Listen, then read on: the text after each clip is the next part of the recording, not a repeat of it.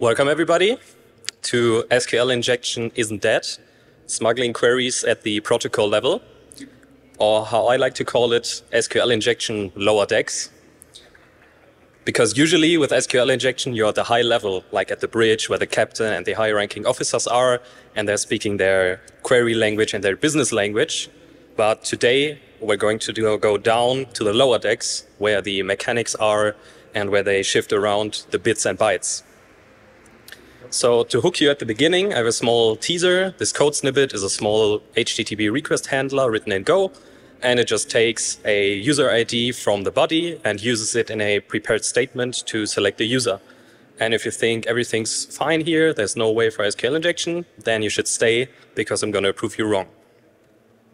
And at a high level in this talk, we're going to look at how applications talk to their databases over the network and how attackers can inject in that connection and what can go wrong and also how prevalent the problem is. A bit about me. I'm Paul. I'm a vulnerability researcher at Sonar's R&D team. And if you don't know Sonar, we're the home of clean code. So we help developers write clean code, which also means secure code. And that's why we look at a lot of code and uh, try to find stuff there. So for the rough outline, first we're going to look at the idea of all of this research, and then we'll go into the main part of the talk, which is attacking the database wire protocols, and we're going to focus on Postgres and MongoDB here. Then we'll put things into perspective uh, by looking at the real-world applicability of the research, and then give you some ideas for future, future research and draw some takeaways.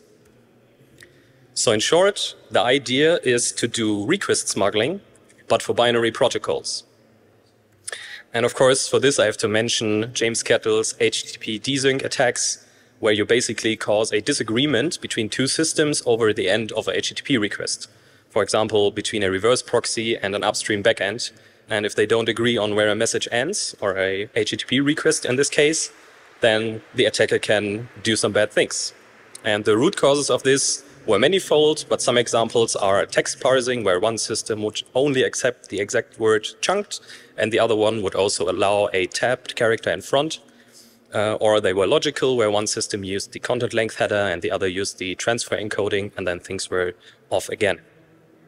But what about other protocols? And specifically, what about binary protocols? Uh, where do they have message boundaries? How do they do it? Um, some of them have delimiters, where, for example, in null terminated strings, the null byte is the delimiter that tells the end of the string. Or you might have length fields, uh, and there's an entirely, entire family of protocols that are called TLV or type length value protocols, because I have a type field and then a length field, and then the rest of the message is the value. So how could we desync in these protocols? Uh, for delimiters, it sounds quite easy. You just have to find a way to put a delimiter where it's not supposed to be in a value. Of course, it's not that simple, but at least you directly have an idea of what you could do. Uh, but for length fields, I was stuck for a moment and thought about, okay, you have a length field, it has a fixed size, it has a fixed location in the message, so what could go wrong there? And then I thought, okay, maybe some endianness issues or maybe uh, integer overflows. And I wanted to go deeper into that. So for that, I first looked at the modern web application landscape, uh, where are binary protocols used there. So at the center, you always have the application, and it talks to databases or caches, uh, storages, message queues, structured logging, and so on. And I wanted to focus on the connection between the application and the database. Uh, and that was because I th uh, thought that if I would find something, it would have a great applicability because every, almost every web app has a database. Um, then there's a big potential severity because databases are high value targets because they either contain interesting data like personal information or relevant data to the application, for example, used for authentication. And then also the exploitability should be quite good because what a web app has a database but doesn't let the user query something from that database, right? So we have kind of guaranteed user input. So let's start in and look at some uh, database wire protocols. And for that, I have a small overview of four uh, popular databases and how their messages in their protocols look like. So for Postgres, this is how a message looks like. Uh, you have a type byte, then a four byte length, and then the value, which in this case is just uh, the string that's an SQL statement. For MySQL, it looks kind of similar. You first have the length, it's only three bytes, but then you have a one byte sequence, which would allow you to send multiple packets that would be reassembled to one big message uh, at the end. And there, of course, also you have the value. For Redis, which is not exactly a binary protocol, but their docs kind of read like this uh, because they talk about, oh, here they have this byte, so I wanted to include it anyways. There you first have a type byte, then you have a length, but it's not a fixed size field. It's a decimal integer that has to be parsed. Then you have a delimiter, and then the value, and then another delimiter. And finally, for MongoDB, um, it's a little bit longer. You first have the message length, again a 4-byte field. Then you have a little bit more metadata. For example, the opcode is like the message type. And then the value is a little bit more of a complicated binary structure called BSON. So let's start with Postgres. Uh, again, this is how a packet looks there. One byte type identifier, four byte integer length field, and then the value. So I thought about, okay, four byte integer fields. You can uh, fit quite big numbers in there, like 2 to the power of 32 minus 1, which is roughly the size of 4 gigabytes. But maybe what if we could somehow make a query that's bigger than that how do actually libraries handle this, um, this kind of too large thing? And for that, I started to look into code of Postgres client libraries, and I found the first bug. This is the code of a library called PGX. It's written in Go, and this function uh, is supposed to encode the content of a, uh, of a message into a larger message buffer. So first, it writes the message type. In this case, it's a B for a bind message. Then it saves the offset where it should later write the size to. Then it adds all of the actual data of the message. And finally, it writes the size.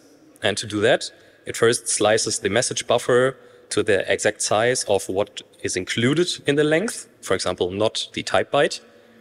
Then it takes the length of this sliced buffer, and here the length is of type int, which in most modern systems is a 64-bit integer. But then this is truncated down explicitly to an int32. So we have a problem here, because if the length was bigger than what can be expressed in an int32, we now have a truncation and the number becomes very small, but then the library still sends all of the data after that. So then if the database has to parse this message, it will just see a very small length and only parse a very small message, and then try to parse whatever is coming after that as more messages, but in fact, it's data from the first message. So let's look at this again with example messages. Um, so here we have a very small one. We have a 4 byte value, and then the length becomes 8 because the size of the length field itself is also included in the length. So it's a length of 8. This is how the largest possible message looks like. You can see the length is filled to the brim with hex FFFF because the value is just almost 4 gigabytes of ACE. But still, everything's good because the application can express this length in the 4 bytes, and so the database will parse the same size. But if we make it just a little bit larger, we can see that the truncation happens because the most significant bit is not represented in the length anymore. So the length is just 4, which means this is a tiny message. And then after that, in the connection, there comes some garbage A's that the database can't really understand. But if the attacker chooses not A's, but some bytes that the database can understand, they can craft an injected message here. So let's zoom out again and look at this again. This is the small message, all is good. This is the large message that does not cause a truncation. So both the application and the database see it and parse it the same way. But if we make the size a little bit too big, the application thinks it's writing this big number, but actually, because of the truncation bug, it writes a small number. So when the database parses it, it sees one small message and then garbage, or if the payload is cleverly crafted, it sees more messages that can contain attacker-controlled SQL statements like this one that adds a new admin user. So the impact is quite high here. Um, you can inject entire SQL statements. You're not limited to union-based or subquery-based SQL injection like with the very classic ones. It's more like if you have stack queries enabled, so you can just finish the first statement that you're injecting into and then have a whole another one that can be an insert, even if the other one was a select, and so on. So this means the attacker can essentially read, write, and delete all the data in the database with the permissions of the application. And if the database is configured insecurely, this can already lead to code execution, um, or you just have all of the data from the database, which is bad enough. The only thing that's a little bit less convenient than with classic SQL injections is that data exfiltration is a little bit uh, less straightforward because if you're injecting more messages into the connection, then the application will still only process the answer for the first message. So you don't directly get the result of your injected message where you maybe select all the password reset tokens of users. Um, so you have to go uh, a different route of maybe doing a subquery and then using an insert to put this data you want to exfiltrate in another table and then use business logic of the application to access the data. So it still works, just a little less convenient. But how does this look in the real world? Uh, some of you might have already noticed that if we control all of these A's that we have in a message, why can't we just directly put any SQL statement in the first place? Why do we need to have the overflow? And you would be correct, because this was just a simplification. So let's look at how this actually looks. Um, this is a two-line code snippet. Uh, the ID here is uh, user-controlled. In this case, it's a very small one. And then we have our query. You might recognize it from the teaser code snippet that uses the ID to select a user from the database. And the resulting packet or message that's sent over the wire looks like this. We have our type byte, then a small length, and then we have the value with a trailing null byte. Uh, all is fine here. But now if the attacker makes the user-controlled ID very large, 4 gigabytes, then suddenly the length in the packet is smaller than before, even, then, even though we send more data. So we see that the truncation happened. And now when the database tries to parse this packet, um, it will see, okay, it's a length of 38 bytes, so I'm going to parse until that. And after that, it will try to parse the next message. So the attacker has to put their cleverly crafted payload at that exact offset in this big buffer of A's. But how does the attacker know this offset? Um, the offset depends on the query that they are injecting into, and uh, especially on the injection point in the query and the length of the whole query. So if you know these things, you can just calculate the offset and you're done but maybe you're lazy and don't want to do the math, or you don't know the query because it's kind of a black box test. Um, so what can you do then? And of course, the naive solution is to brute force the offsets, uh, but unfortunately, now you, for each try, you have to send four gigabytes, which is slow even on local setups and on like production setups. It creates a lot of noise and risks denial of service because it's a lot of data. So can we make this more reliable? And the first technique uh, I tried out here was to borrow something from binary exploitation from 20 plus years ago, which is called a NOP SLAT. And mapped to this problem, we just use a lot of very small message at the beginning of the buffer so that when we hit the start of one of these messages, uh, everything's fine because the message is parsed and then the next one and then the next one and so on until at the very end, the big message with the actual attacker SQL payload is uh, parsed and executed. But if we hit any other byte, um, the database will cause a fatal error because it cannot parse there, and it will close the connection between the application and the database. But usually that's not too bad because applications have connection pools and they just reopen connections if they get closed. So let's visualize this. This is the smallest possible message in the Postgres wire protocol. So we repeat this a lot of times, and in the end, we have our actual payload. So if the offset happens to align with the first or the fifth and so on byte, then we're good. But if it hits one of the other bytes, then there's this fatal parsing error and the connection is closed. So if that happens, we can try again. And now we just prepend one padding byte. And then if it if the offset happened to align with the second byte and so on, then now this attempt would be lucky. Otherwise, we just try again and again and again until we're uh, lucky at the last try. Uh, so this means that after a maximum of five attempts, uh, the attack is successful because each try has a 20% chance of success and we can repeat the attack. But still, in the worst case, we have to send 5 times 4 gigabytes, which can still be a lot. So maybe we can make it even better. And for this, I looked at what was holding us back with the last strategy. Uh, and here it was the length bytes, because those were not valid type bytes, so not a valid start of a message.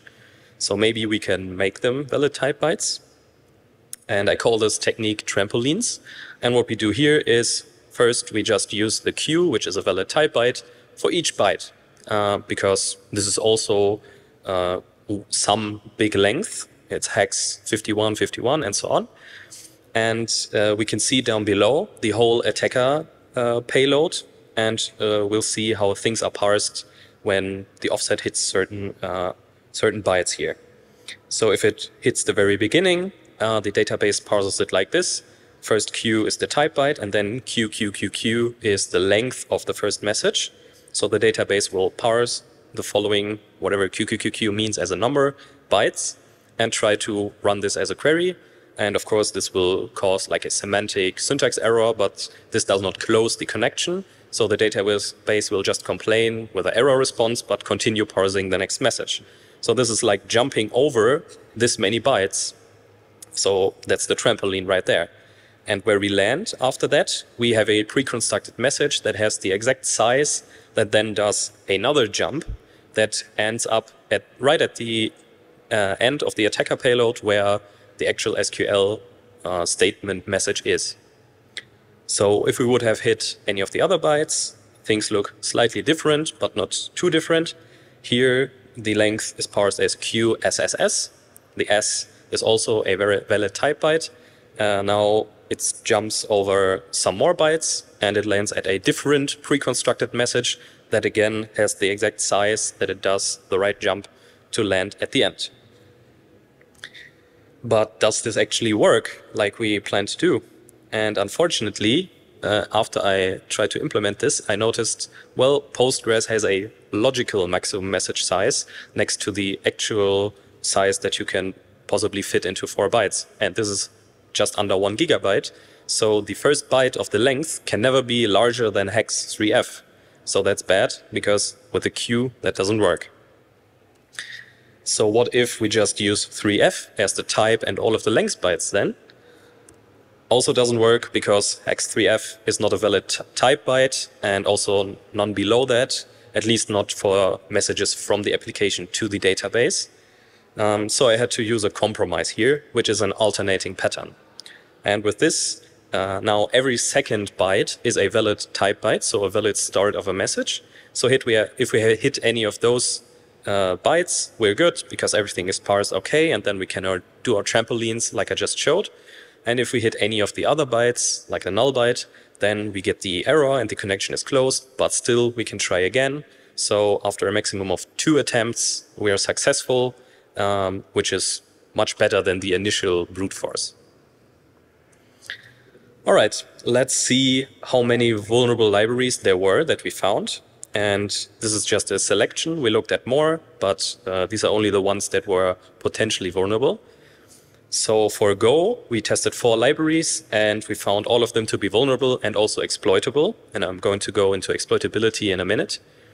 Unfortunately, only one of them uh, fixed the issues we reported and the others did not. So they are still vulnerable in the latest version. For C Sharp, there was one library we looked at. It was vulnerable and exploitable, but unfortunately they fixed and also backported it to older branches of the library. Uh, so that's great to see.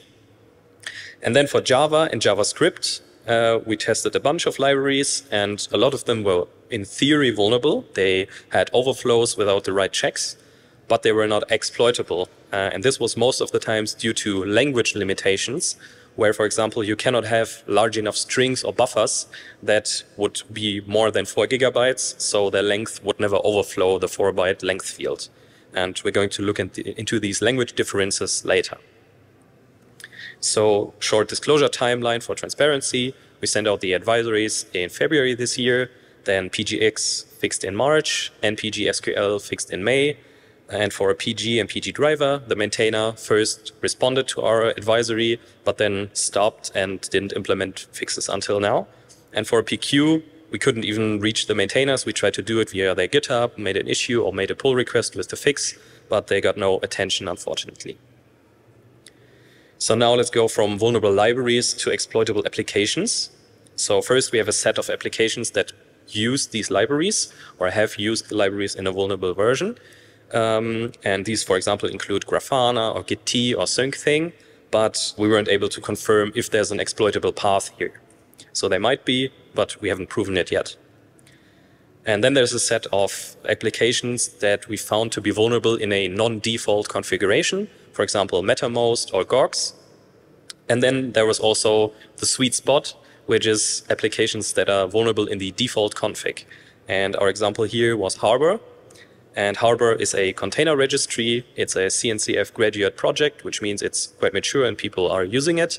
Uh, it's also apparently part of VMware Tanzu Kubernetes, but we didn't look into more of that, so we don't know if that's exploitable in that scenario as well. Um, but in its default version, uh, it's vulnerable in the default configuration and also pre-authentication, which is quite bad. So they fixed this in version 2.11, which is the latest one, uh, by updating their dependency. So if you have a Harbor instance, you definitely should update to the latest version. And I'm going to try to demo the Harbor exploit now. I'm going to try to do it live. I also have a backup video, um, but let's see. So first, I will try to log in as the attacker to show that there should be no uh, attacker user. As you can see, the login doesn't work. So now if we start the exploit, and I hope this works over the unstable internet, um, we have to wait a bit. So there we see the query that the exploit is sending. This is an insert query that will insert the attacker user into the database. So then we could log in. And as we can see, it's sending a lot of bytes, four gigabytes. So it takes some time. Um, and if it works successfully, then we should be able to log in and have administrative privileges in the Harbor application so that we then could send uh, or mess with the containers in there. So we saw an error, which is expected here. So if I now try to log in again, we should log in successfully, I hope. okay, it doesn't seem to work. I have to switch to the backup video. And there on the left, now we try to log in again. And there we can see we can now log in and have admin privileges.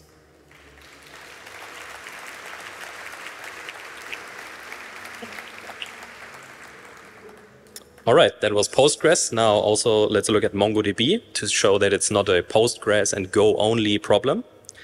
So to look back, this is what a message in MongoDB looks like. We have a 4 byte length field. This time it's little endian. Then we have two metadata fields that are not relevant here. And then we have the opcode, which is like the message type. And then the value is a complex binary structure that's called BSON, which I think stands for binary JSON. And it's some nested data uh, that's serialized to TLV sections. So they also have lengths again. And to directly look at some code, it's a little bit more, but I'm going to walk you through it. We first have uh, a line here that takes the content bytes. So it takes the query and puts it into this BSON representation. Then it computes the total length of the message by adding the header length and, and so on. And this is saved as a type usize variable. Again, on most modern systems, this is a 64-bit integer. And then again, this is truncated explicitly to an int 32, because that's what fits into the field, so the developer had to cut it down here. But of course, this is the same issue as before. If the length was larger, what can it, then what can be expressed here? um, we have our truncation and things go wrong the exact same way as it did for Postgres. So for crafting a payload for MongoDB, it's a little bit more involved because we have to avoid bad bytes. Uh, the payload uh, must be valid UTF-8 because the strings are serialized as UTF-8 to the wire, so we cannot create any bytes that are invalid UTF-8. But the problem is the message type that we need to write in order to craft the right injected message is hex DD07, and that's always invalid UTF-8. So how can we do that? And also size fields inside the message could become some byte values that would also be invalid UTF-8. So we have to be careful there as well.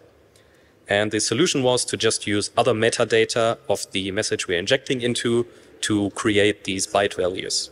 And I have an example for that. So this is a normal MongoDB query. It just queries for a movie based on a few attributes. And this is serialized to the following BSON document. In the beginning, we have in blue the length of the whole document. Then in red, we have a type uh, identifier that says the next key value pair has a string value. Then in yellow, we have the uh, key, which in this case is title with a trailing null byte. Then in blue again, we have the length of the following string. And then in green, we have the actual string with a terminating null byte. Then we have the next key value pairs and so on. And at the end, we have another null byte that shows the end of the document. So if we want to have the hex uh, sequence DD07 anywhere in here, we cannot use the yellow and green parts because they have to be a valid UTF-8. But what we can do is, for example, use the length of a string and just make the string the length that will, when serialized to bytes, will be the exact byte sequence we need. So here we need to subtract one because there's a, a, a appended null byte, but then we have the DD07 there. And with this trick, now we can craft the entire injected message. I cannot go into all of this here because we don't have time, but this is the trick you need to be able to do it. So we also looked at libraries here and uh, we found the official Rust MongoDB client library to be vulnerable and exploitable. Uh, we sent out our advisory also in February and they fixed in March. So if you use this, especially if you use it in production, which I doubt because it's Rust, but then you should update to 2.8.2. Okay, let's now take a step back. Uh, we've seen all the cool bugs and the exploitation but is this actually applicable to the real world? Uh, we've seen the demo, but maybe this was just a lucky punch. So let's talk about constraints and especially about the elephant in the room, which here weighs four gigabytes. Because a lot of you probably are thinking, well, can we actually send four gigabytes into all the applications? Aren't apps limiting input sizes? And you would be right. Now, there's a lot of common protections like default body size limits of your favorite web framework, or maybe JSON and form decode maximum sizes, or you have your reverse proxy that's limiting request size, and so on. And I also encountered this and thought about some potential bypasses here. So the first idea is that sometimes endpoints are just unprotected.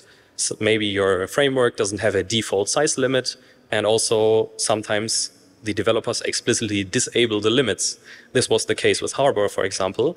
They have an Nginx reverse proxy, which usually has a one megabyte request limit, but they explicitly disabled it, I guess because they need to receive big Docker images, so they need more uh, request size. But this also meant that the whole API is now not limited anymore, and the Go framework that's used uh, under the hood of the server did not limit this, so we could send our big payload. The next trick would be to use compression. Uh, this, on the one hand, allows you to send your attacker payload much quicker because you can compress it down and don't have to send four gigabytes over the internet. And also there can be logic bugs where maybe your reverse proxy or your framework first checks the request size, but does the decompression after that. So the check is essentially useless because your compressed data will inflate a lot and you can craft a big uh, payload that after decompression still causes the overflow. So for Nginx, for example, this works because Nginx does not look at the body. It doesn't try to decompress it. It just looks at the raw size of the request. So if your backend does decompression, then you could bypass this.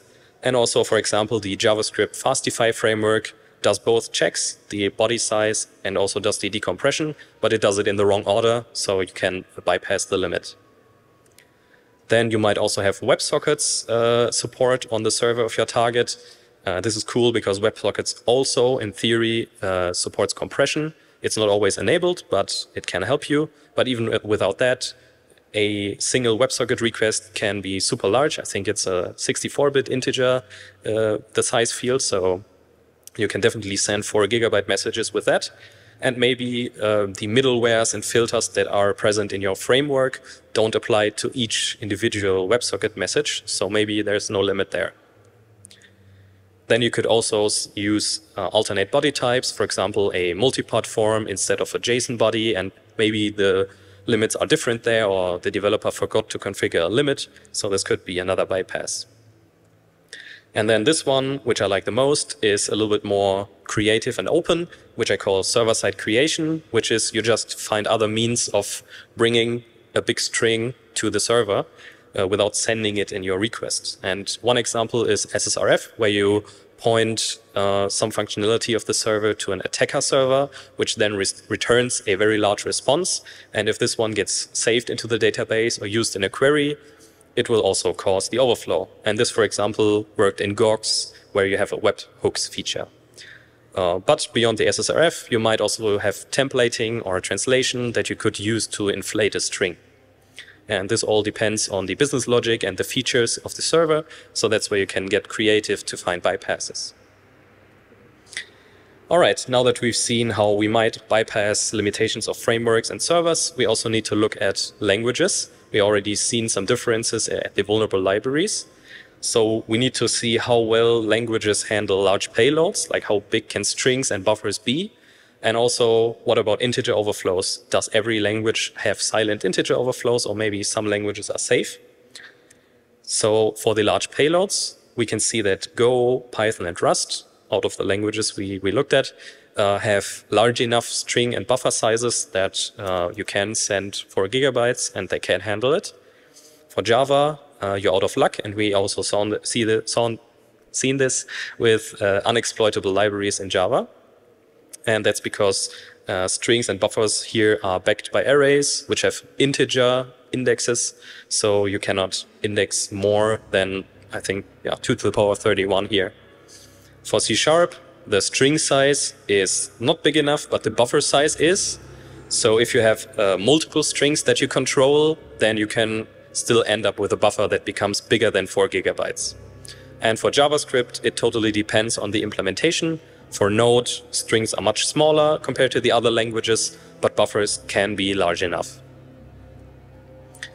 For integer overflows, we can see that uh, for addition overflows, which just means you add two integers, uh, we can see that in Go, Java, and C Sharp, C Sharp, a silent integer overflow happens, so it will just wrap around. For JavaScript, uh, there will be no overflow. Things will just get more inaccurate because it's JavaScript and they use floats under the hood. And in Python, you have arbitrarily sized integers, so you cannot overflow that. And in Rust, it depends on how you build your project. If you build it in debug mode, the compiler will emit a, a check that checks for overflows, but in a release build, it will not do that.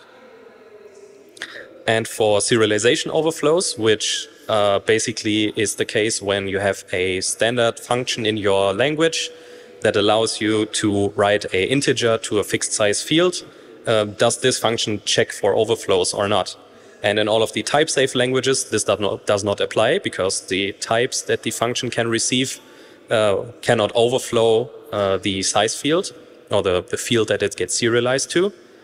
Uh, but this just means that the developers now have to do the check before casting to this type, and we've seen that this leads to bugs in uh, our Go and Rust examples. In JavaScript, it's again implementation dependent.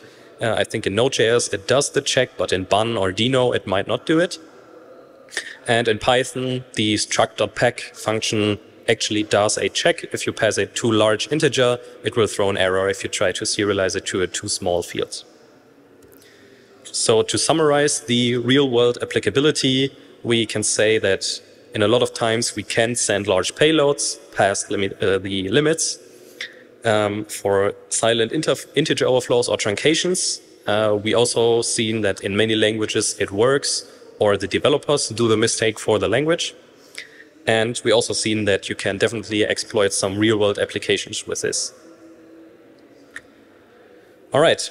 Now let's look at what is there more to do in this kind of research for binary protocol smuggling. But first, I have to give a small disclaimer here. Please don't go out and send 4 gigabytes to every API endpoint in your bug bounty scope, because you will crash systems, you will get blocked, and you will ruin a DevOps engineer's day because they have to look at the monitoring alert. So don't do it, please.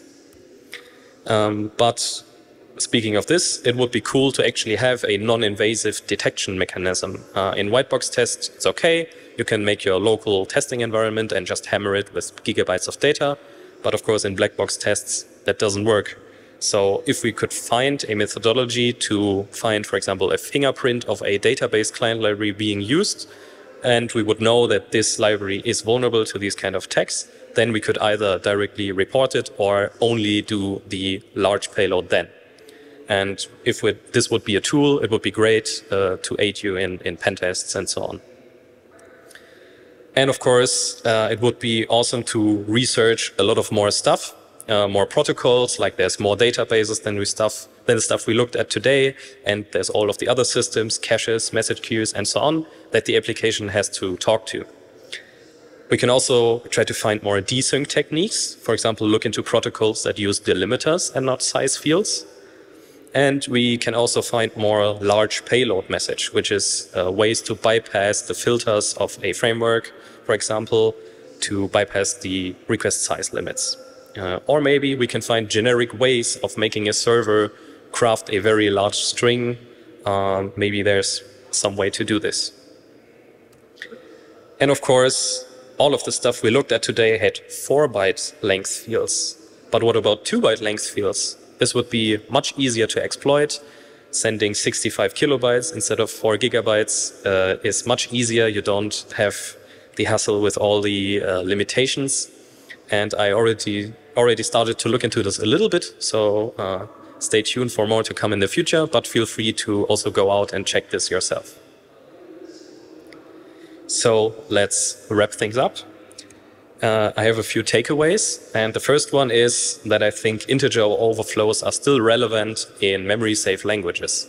Of course, in C, if you have an integer overflow, uh, it's easily easy to get some memory corruption with it. So uh, that's done. But in memory safe languages, um, the worst case that can happen is an array out of bounds or whatever. But with these data attacks uh, in the uh, binary protocols that we've seen today, uh, now we have a new way of exploiting these. And I think developers kind of forgot about integer overflows and maybe researchers as well, at least in the memory safe languages. Then we also seen that uh, it's entirely feasible to send large amounts of data, even with uh, protections, because there's many ways how you can bypass these protections.